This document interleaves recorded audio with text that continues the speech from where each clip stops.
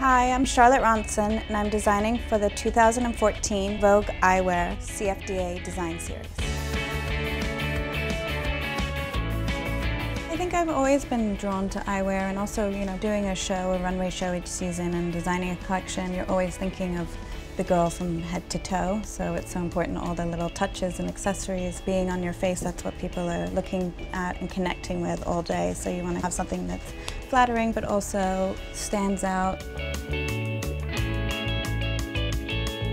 I was super excited to have Eva Mendes, the muse. Her essence is confidence and femininity and you know, she's chic and flirty all at the same time.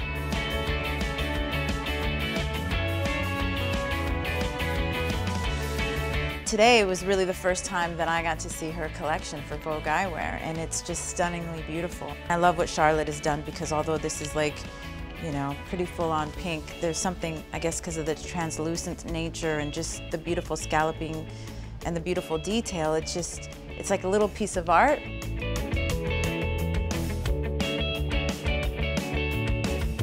Think that glasses are another way to accessorize and um, express yourself. So the fact that I have all these beautiful Vogue eyewear options is really exciting. It's like a little, little girl's dream.